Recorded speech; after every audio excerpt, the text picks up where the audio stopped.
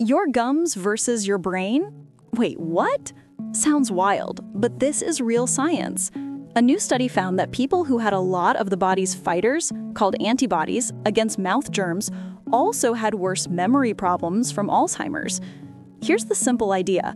When gums get sore and bleed, tiny germs can slip into your blood, ride the highway to your brain, and stir up trouble. Your brain doesn't like that. It gets inflamed, which means it gets puffy and irritated inside, and that can make thinking, learning, and remembering harder. This study doesn't prove that bad gums cause Alzheimer's, but it shows a strong link. Think of it like smoke and fire. If you keep seeing smoke, you pay attention, right? So, what can you do starting tonight? First, brush your teeth two times a day for two full minutes each time. Set a timer. Hum your favorite song. Make it fun, but do not rush. Use a fluoride toothpaste. That's the kind that helps keep teeth strong. Second, clean between your teeth once a day. Floss works great. If floss is tricky, try little brushes for the spaces or a water flosser. The important part is get the sticky gunk out from between teeth where germs love to hide.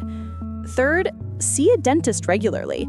Cleaning sweep away the buildup that your toothbrush misses, and the dentist can spot early gum problems before they turn into big ones. Bleeding gums are not normal.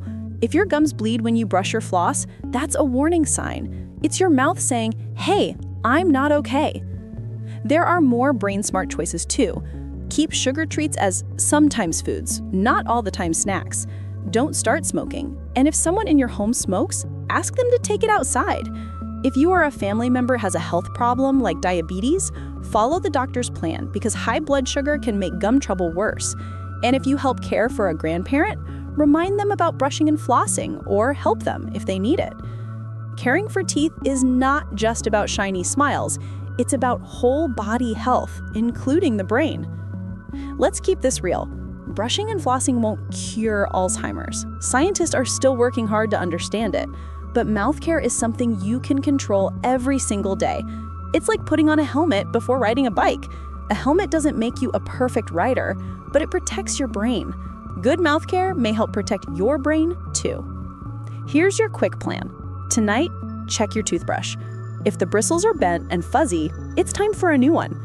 Brush for two minutes. Floss before bed. Put a sticky note on the mirror that says, gums equals brain. Ask your family to join you so you can cheer each other on. Tiny habits add up. Your future self, the one taking tests, remembering names, and crushing goals, will be glad you started now. This video is for learning, not medical advice. If you or someone you love is having memory changes, talk to a healthcare professional. Credit Journal of Alzheimer's Disease and the National Institute on Aging.